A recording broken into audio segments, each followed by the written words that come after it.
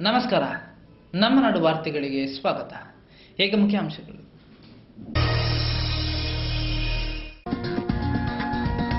ಯಕ್ಷಗಾನದ ಬಗ್ಗೆ diploma course CM ಜೊತೆ ಶೀಘ್ರದಲ್ಲೇ ಚರ್ಚೆ. ಡಾಕ್ಟರ್ ಪಿ ದಯಾನಂದ ಪೈ ಭರವಸೆ, ಮಂಗಳೂರು ವಿಶ್ವವಿದ್ಯಾನಿಲಯದಲ್ಲಿ ನೂತನ ಯಕ್ಷಮಂಗಳ ಮ್ಯೂಸಿಯಂ ಉದ್ಘಾಟನೆ. ಮಂಜುನಾಥ ಭಾಗವತರಿಗೆ ಪ್ರಥಮ ಯಕ್ಷಮಂಗಳ ಪ್ರಶಸ್ತಿ ಪ್ರದಾನ.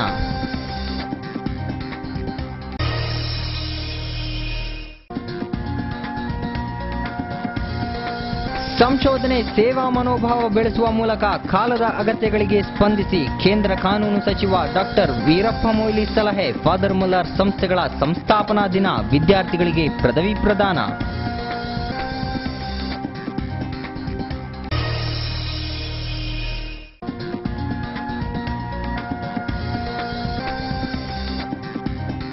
ವರ್ಷ ಅರವತ್ತು ಆದರೂ ಮಂಗಳೂರು ವಿಮಾನ ನಿಲ್ದಾಣಕ್ಕೆ ಅಂತಾರಾಷ್ಟ್ರೀಯ ಮಾನ್ಯತೆಯೇ ಇಲ್ಲ. ವಜ್ರ ಮಹೋತ್ಸವದ ಸಂಭ್ರಮದ ಏರ್ಪೋರ್ಟಿಗೆ ಸ್ಥಾನಮಾನವೇ ಸಿಕ್ಕಿಲ್ಲ.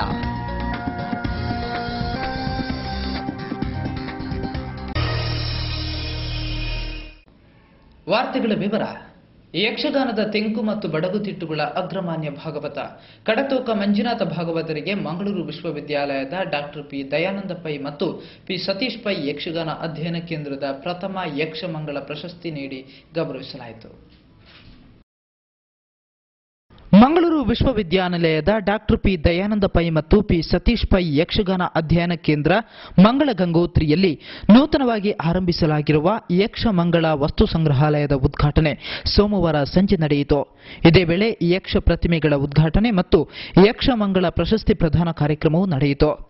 ಯಕ್ಷಗಾನ ಅಧ್ಯಯನ ಕೇಂದ್ರದ ವಿಶೇಷ ಯೋಜನೆಯಾಗಿ ಡಾಕ್ಟರ್ ಪಿ ದಯಾನಂದ ಪೈ ಅವರ ಇಪ್ಪತ್ತು ಲಕ್ಷ ರೂಪಾಯಿ ವಿಶೇಷ ಅನುದಾನದಲ್ಲಿ ನಿರ್ಮಾಣಗೊಳಿಸಲಾಗಿರುವ ಯಕ್ಷಮಂಗಳ ವಸ್ತು ಸಂಗ್ರಹಾಲಯ ಮತ್ತು ಯಕ್ಷ ಪ್ರತಿಮೆಗಳ ಉದ್ಘಾಟನೆ ನೆರವೇರಿತು.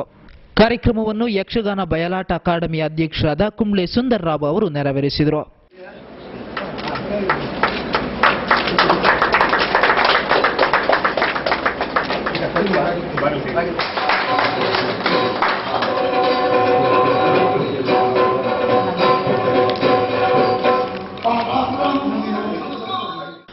ಉದ್ಘಾಟನೆ ನೆರವೇರಿಸಿದ ನಂತರ ನಡೆದ ಸಭಾ ಕಾರ್ಯಕ್ರಮದಲ್ಲಿ ಯಕ್ಷಗಾನದ ತೆಂಕು ಮತ್ತು ಬಡಗುತಿಟ್ಟುಗಳ ಅಗ್ರಮಾನ್ಯ ಭಾಗವತ, ಕಡತೋಕ ಮಂಜುನಾಥ ಭಾಗವತರಿಗೆ ಡಾಕ್ಟರ್ ದಯಾನಂದ ಪೈ ಮತ್ತು ಪಿ ಸತೀಶ್ ಪೈ ಅಧ್ಯಯನ ಕೇಂದ್ರದ ಪ್ರಥಮ ಪ್ರಶಸ್ತಿ ಇಪ್ಪತ್ತೈದು ಸಾವಿರ ರೂಪಾಯಿ ನಗದು ಸಹಿತ ಯಕ್ಷಮಂಗಳವನ್ನು ಮಂಗಳೂರು ವಿಶ್ವವಿದ್ಯಾಲಯದ ಕುಲಪತಿ ಪ್ರೊಫೆಸರ್ ಟಿಸಿ ಶಿವಶಂಕರಮೂರ್ತಿ ಪ್ರದಾನ ಮಾಡಿದರು.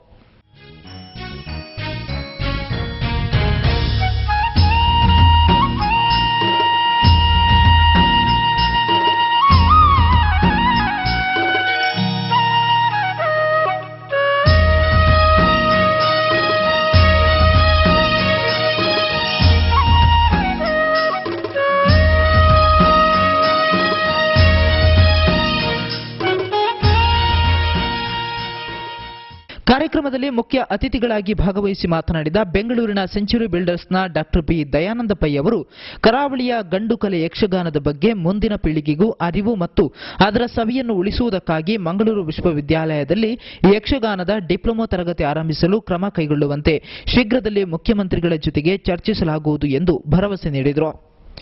ಬಹು ಆಯಾಮಗಳುಳ್ಳ ವಿಶಿಷ್ಟವಾದ ಸೊಗಸನ್ನು ಹೊಂದಿರುವ ಈ ಕಲೆಯ ಬಗ್ಗೆ ಕರಾವಳಿಯ ಮನಸ್ಸುಗಳು ಹೆಚ್ಚು ಆಸಕ್ತಿಯನ್ನು ಹೊಂದಿವೆ.